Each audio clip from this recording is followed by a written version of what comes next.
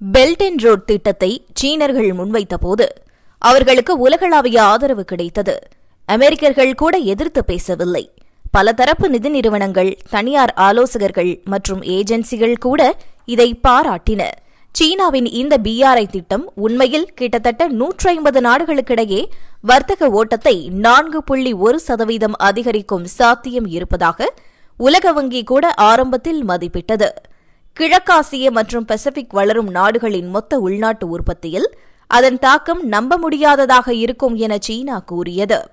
மேலும் சீனாவின் இந்த பிஆர்ஐ திட்டம் மூலம் ஆண்டுக்கு ஆண்டு இதில் சேர்ந்த நாடுகளின் வருமானம் மூன்று புள்ளி நான்கு சதவீதம் அதிகரிக்கும் என்றும் இதன் மூலம் ஏழு புள்ளி ஆறு மில்லியன் மக்கள் வறுமையில் இருந்து விடுபடுவார்கள் என்றும் உலக வங்கி உலக மக்களுக்கு தெரிவித்தது.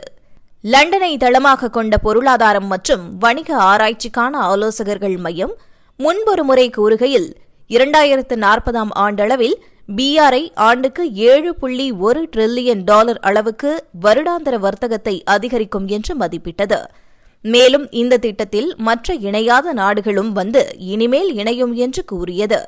இத்திட்டம் ஆஸ்திரேலியா ஆசியா ஆப்பிரிக்கா மற்றும் ஐரோப்பா போன்ற அனைத்து கண்டங்களையும் உள்ளடக்கியது.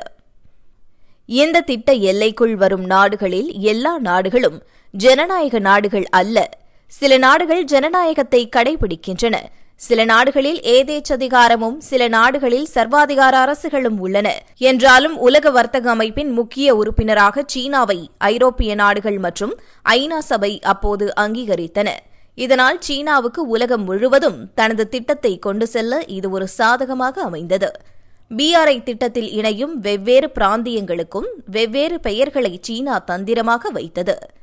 ஆப்பிரிக்காவை பொறுத்தவரை இது சீனா ஆப்பிரிக்கா ஒத்துழைப்பு மன்றம் என்றும் அரபு நாடுகளை பொறுத்தவரையில் இது சீனா அரபு நாடுகளின் ஒத்துழைப்பு மன்றம் என்ற பெயரிலும் திட்டம் முன்னெடுக்கப்பட்டது. இரண்டாயிரத்து பதிமூன்றில் ஜி ஜின்பிங் இந்த சாலை முயற்சியை உலக நன்மைக்காக என அதிகாரப்பூர்வமாக அறிவித்தார். பிந்தைய ஆண்டுகளில் இந்த திட்டம் ஜின்பிங்கிற்கு மிகவும் முக்கியமானதாக மாறியது. இந்த திட்டத்தை அதிகாரப்பூர்வ சீன அரசியலமைப்பில் வைப்பது பொருத்தமானது என்று அவர் கருதினார். இதனால் ஜின்பிங்கின் வெளியுறவு கொள்கைக்கு பிஆர்ஐ மிகவும் முக்கியமான ஒன்றாக மாறியது. இதற்காக ஜின்பிங் பெல்ட் அண்ட் ரோட் கட்டுமான தலைமை குழுவை உருவாக்கியுள்ளார். இது நேரடியாக சீனாவின் ஸ்டேட் கவுன்சிலுக்கு திட்ட வளர்ச்சி மற்றும் முன்னேற்றங்கள் குறித்து தெரிவிக்கிறது. மேலும் இந்த திட்டம் பல அரசியல் ஹெவி வெயிட்களை கொண்டுள்ளதாகவும் கூறப்பட்டது.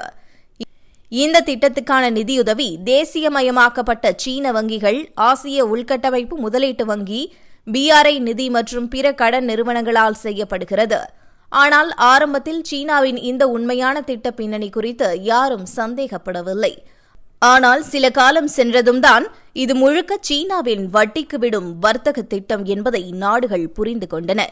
அது மட்டுமன்றி சீனாவின் ஆதிக்க குணம் பல நாடுகளுக்கு இடையில் வெறுப்பை ஏற்படுத்தியது. குறிப்பாக இது உலக வர்த்தகத்தை தனது கைக்குள் போடும் ஒரு பிரம்மாண்ட முதலீட்டு திட்டம் என்பதை படிப்படியாக புரிந்து கொண்டன இதுபோன்ற காரணங்களால் அத்திட்டம் ஒரு முழுமையை நோக்கி நகரவில்லை. ஆனால் ஆரம்பத்தில் இருந்தே இந்த திட்டத்தை தனது நாட்டுக்குள் அனுமதிக்காத ஒரு தேசம் எதுவென்றால் இந்தியா மட்டும்தான். இந்தியாவுக்கு சீனா பற்றி மிக நன்றாக அனுபவ ரீதியாக தெரியும் என்பதால் இதை ஏற்றுக்கொள்ளவில்லை. அது மட்டுமல்லாமல் ஆரம்பத்திலிருந்தே எதிர்ப்பும் தெரிவித்து வந்தது. இப்போது இரண்டாயிரத்து இருபதாம் ஆண்டு கொரோனா தாக்கம் ஏற்பட்டதிலிருந்து சீனாவின் உண்மையான முகம் வெளிச்சத்துக்கு வந்துள்ளது. இலங்கை வங்கதேசம் பாகிஸ்தான் நேபாளம் ஆகிய நாடுகள் மிக கடுமையாக பாதிக்கப்பட்ட நிலையில் அவர்களுக்கு இந்த திட்டம் ஒத்துவரவில்லை. இந்நிலையில் கடுமையான பின்னடைவை சந்தித்த சீனா தான் செய்த முதலீடுகள் திரும்பி வராமல் போன நிலையில் பணத்துக்கு பதிலாக அங்குள்ள மூலோபாய சொத்துக்களை மிரட்டி பெறத் தொடங்கியது. குறிப்பாக இலங்கை ஹம்பந்தோட்டா விஷயத்தில் சீனா நடந்து கொண்ட விதம் அங்கு மிகப்பெரிய அரசியல் பிரளயத்தையே உருவாக்கியது. உணவுப் பொருட்களுக்கு கூட அந்நாட்டு மக்கள் வெளிநாடுகளில் கையேந்தும் நிலைக்கு தள்ளப்பட்டனர். எரிபொருள் பற்றாக்குறை அந்நிய செலாவணி சிக்கல்கள் ஏற்பட்டு அந்நாடு திண்டாடிய போது கூட சீனா கை கொடுக்கவில்லை. அது தான் கொடுத்த கடன் பற்றியே சிந்தித்தது. இந்நிலையில் முதலில் அந்நாட்டுக்கு பல விதங்களில் உதவிக்கரம் நீட்டிய நாடு இந்தியாதான். இதே போன்ற நிலை நேபாளத்திலும் பாகிஸ்தானிலும் வெடித்தது. வங்கதேசம் கடனை திருப்பி செலுத்த முடியாது என ஒரு கட்டத்தில் கூறியது. சீனாவின் பிஆர்ஐ திட்டம் நன்கு சிந்தித்து உருவாக்கப்பட்ட திட்டம் இல்லை என்றும் இதில் நாங்கள் கடன்காரர்களாக மட்டுமே ஆக்கப்பட்டோம் என்று வாதாடியது. இப்போது உதவி கேட்டு சர்வதேச நாணய நிதியத்தின் வாசலில் சென்று நிற்கிறது. இந்நிலையில் சீனா மிகவும் தேவைப்படும் நாடுகளில் பணத்தை வாரி இறைத்துள்ளது. இரண்டாயிரத்து பதிமூன்றாம் ஆண்டில் பிஆர்ஐயின் கீழ் நாடுகளில் தொன்னூற்று மூன்று புள்ளி மூன்று எட்டு பில்லியன் டாலர்கள் முதலீடு செய்தது. சில சிறிய ஏற்ற இறக்கங்களுடன் கோவிட் பத்தொன்பது வரை அதன் எண்ணிக்கை அதிகரித்துக் கொண்டே இருந்தது. ஆசியாவில் பாகிஸ்தான் இலங்கை பங்களாதேஷ் போன்ற நாடுகள் சீனாவின் முக்கிய இலக்காக மாறியது. இலங்கையில் மட்டும் சீனா பதினைந்து பில்லியன் டாலர்களுக்கு மேல் முதலீடு செய்துள்ளது. உண்மையில் இந்தியாவுக்கு எதிராக அந்த நாட்டை தனது பிடிக்குள் கொண்டு வரவே அந்நாடு இந்த நிதியை பயன்படுத்தியுள்ளது. அதேபோன்று பாகிஸ்தானில் சீனா இந்திய எதிர்ப்பையும் பலுசிஸ்தான் மக்கள் எதிர்ப்பையும் மீறி சீனா பாகிஸ்தான் பொருளாதார வழித்தடத்திற்காக அறுபத்தைந்து பில்லியன் டாலருக்கும் அதிகமாக முதலீடு செய்துள்ளது. அண்டை நாடான பங்களாதேஷில் சீனாவின் ஒட்டுமொத்த முதலீட்டின் திட்டமிடப்பட்ட செலவு நாற்பது பில்லியன் டாலருக்கும் அதிகமாக உள்ளது. ஆப்பிரிக்காவில் சீன முதலீட்டை பற்றி பேசுகையில் இரண்டாயிரத்து பதிமூன்று மற்றும் இரண்டாயிரத்து இருபதுக்கு இடையில் தனது பிஆர்ஐயில் மொத்த முதலீட்டில் சீனா இருபத்தோரு சதவீத முதலீட்டை செய்துள்ளது. சீனாவின் அண்டை நாடுகளான கிழக்காசியாவில் மட்டும் பிஆர்ஐ திட்டத்தின் மொத்த முதலீட்டில் இருபத்தாறு சதவீதத்தை செய்தது. ஆற்றல் போக்குவரத்து உலோகம் மற்றும் ரியல் எஸ்டேட் ஆகியவை சீனர்கள் முதலீடு செய்த மற்ற முக்கிய துறைகளாகும். இரண்டாயிரத்து இருபத்தோராம் ஆண்டு வரை பிஆர்ஐயில் பங்கு பெறும் நாடுகளுக்கு ஒரு டிரில்லியன் டாலர்களில் எழுபது சதவீதத்திற்கும் அதிகமாக சீனா செலுத்தியது.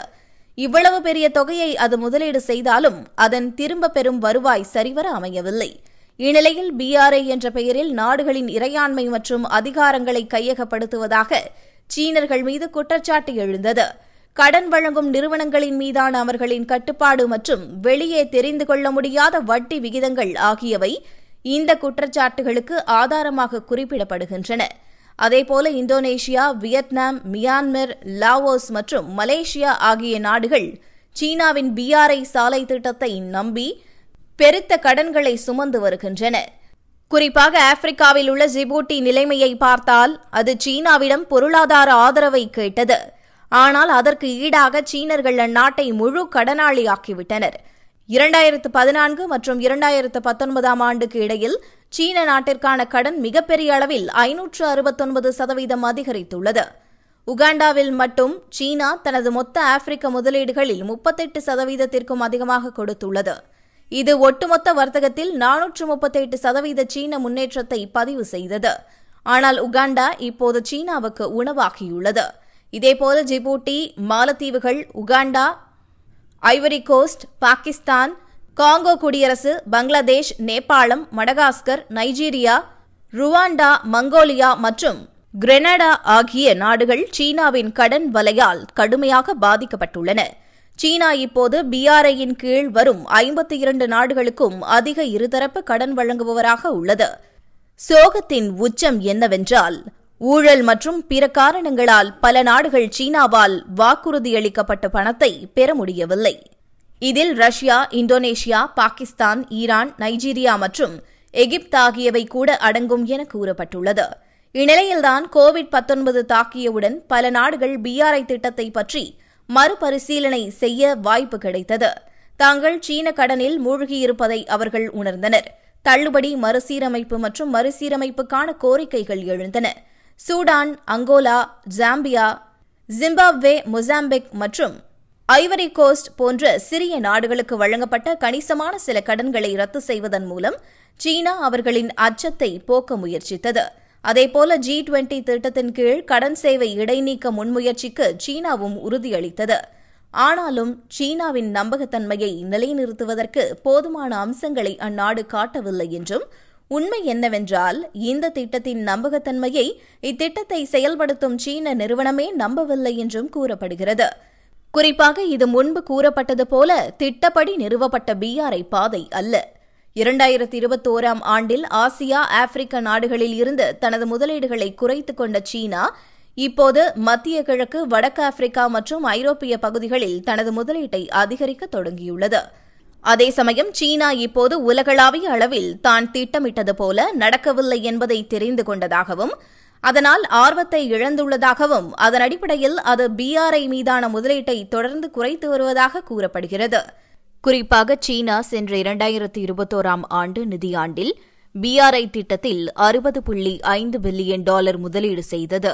ஆனால் இரண்டாயிரத்து இருபத்தி இரண்டாம் ஆண்டில் ஐம்பத்தொன்பது புள்ளி ஐந்து பில்லியன் டாலர் மட்டுமே முதலீடு செய்தது. உண்மையில் சீனா இரண்டாயிரத்து இருபதாம் ஆண்டில் செய்த ஒதுக்கீட்டை விட இது நாற்பத்தி மூன்று புள்ளி ஐந்து பில்லியன் டாலர்கள் குறைவாகும். அதேபோல இரண்டாயிரத்து பதினைந்தாம் ஆண்டு ஒதுக்கீட்டுடன் ஒப்பிடும்போது இரண்டாயிரத்து இருபத்தி இரண்டுக்கான ஒப்பந்த அளவு இருபத்தொன்று சதவீதம் குறைவாக இருந்தது. அதாவது இரண்டாயிரத்து பதினைந்தில் முதலீட்டின் ஒப்பந்த அளவு ஐநூற்று எண்பத்து ஐந்து மில்லியனில் இருந்து இரண்டாயிரத்து இருபத்தி இரண்டில் முன்னூற்று ஐம்பத்தைந்து டாலராக கடுமையாக குறைந்துள்ளது.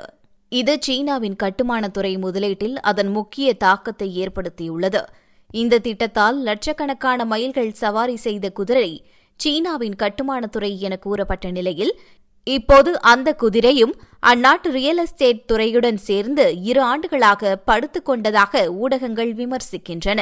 இது ஒரு செங்குத்தான சரிவு என்றும் கொரோனா தாக்குதலுக்கு பிறகு தொடர்ச்சியாக இத்திட்டம் தோல்வியடைந்து வருவதை காட்டுவதாக உலக வர்த்தக செய்திகள் கூறுகின்றன. இதற்கெல்லாம் முழு காரணம் திட்டத்தை தொடங்கிவிட்டு ஆண்டுகள் முடிந்த பின்னும் அது பயனளிக்கவில்லை என்பதுதான். இந்த திட்டத்தால் சீனா பயனடைந்தது. அது கொடுத்த கடன்களுக்கு ஈடாக கடனுறுதி பெற்றது.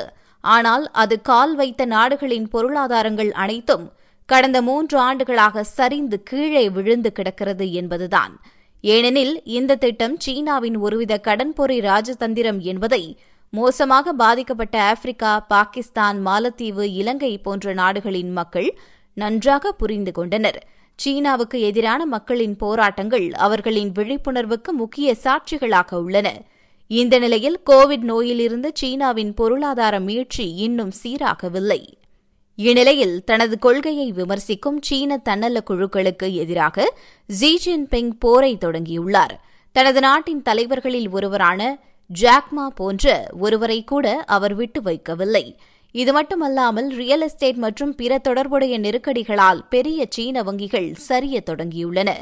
அந்த வங்கிகள் சீனா கூறிய நாடுகளுக்கு கொடுத்த கடன்கள் எதுவும் திருப்பி வரவில்லை. இந்த வங்கிகளில் பணம் பெற்ற பெரும்பாலான நாடுகள் குறைந்த வருமானம் கொண்டவை. சென்ற இரண்டாயிரத்தி இருபத்தி மூன்று ஜனவரி வரை அந்நாடுகள் சீனாவிடமிருந்து பெற்ற கடனில் முப்பத்தி ஏழு சதவீதத்தை மட்டுமே செலுத்தியுள்ளனர். எட்டு ஆண்டுகளாக கடனை முறையாக செலுத்தவில்லை. எழுபத்தி ஏழு புள்ளி மூன்று பில்லியன் டாலர் கடனை பாகிஸ்தான் இன்னும் செலுத்தவில்லை.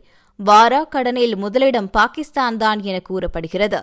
அதேபோல அங்கோலா எத்தியோப்பியா கென்யா மற்றும் இலங்கை ஆகியவை இயல்பு நிலையின் விளிம்பில் உள்ள மற்ற பெரிய நாடுகள். மாலத்தீவை பொறுத்தவரை அந்நாடு சீனாவுக்கு வைத்துள்ள பாக்கி கடன் தொகை அதன் மொத்த உள்நாட்டு உற்பத்தியை விட அதிகமாக உள்ளது. உண்மையில் ஆப்பிரிக்க கண்டத்தில் உள்ள நாடுகள் மட்டும் சீனாவுக்கு நூற்று ஐம்பது பில்லியன் டாலர்கள் செலுத்த வேண்டும். ஆனால் எதுவும் திரும்புவதாக இல்லை. இந்நிலையில் இந்த பணம் திரும்ப வரும் என்ற சீனாவின் நம்பிக்கை குறைந்து வருவதாக வல்லுநர்கள் கூறுகிறார்கள். பிஆர்ஐ திட்டம் தோல்வி என கருதுவதாலும் அந்நாடுகள் கடுமையான பொருளாதார சிக்கலில் அவதிப்படுவதுமே இதற்கு காரணம் என்று வல்லுநர்கள் கூறுகின்றனர். இதன் மூலம் கடன் வலை விரித்த சீனா இப்போது அதன் வலையில் அதுவே சிக்கிக் கொண்டதாகவும் அதன் வெளிப்பாடுதான் இந்த காட்சிகள் என்றும் எனவே பிஆர்ஐ திட்டம் உடலடங்கி கொஞ்சம் கொஞ்சமாக உயிரிழந்து வருவதாக அவர்கள் கூறியுள்ளனர்.